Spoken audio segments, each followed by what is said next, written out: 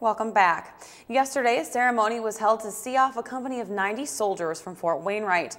They will spearhead the efforts in the drawdown of soldiers from Iraq and Afghanistan. We have more now in our military report.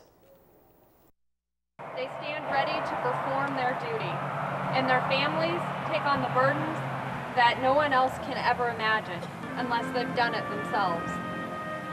At the heart of our nation's defense stands the soldier.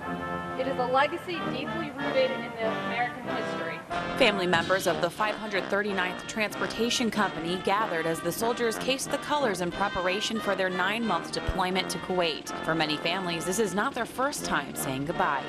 Well, this is his second deployment, and so we're nervous. Um, but we, I mean, we feel confident. My husband and I are both retired Army, and uh, my father was retired from the military. So my whole life has been around the military. So, you know, I've been there, done that. I remember watching my dad go off to Vietnam as a child. So.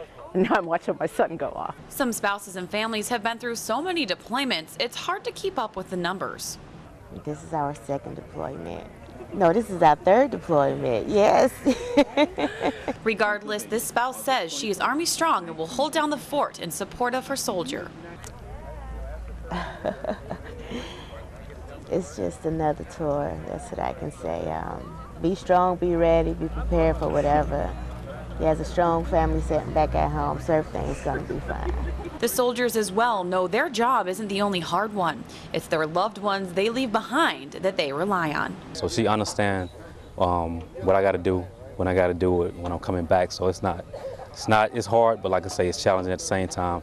But she's like, been able to, to hold down the household since I've been gone. Finally, there was one last question I had to ask. You know, are you proud of your son? Absolutely. Absolutely. I'm so proud of you.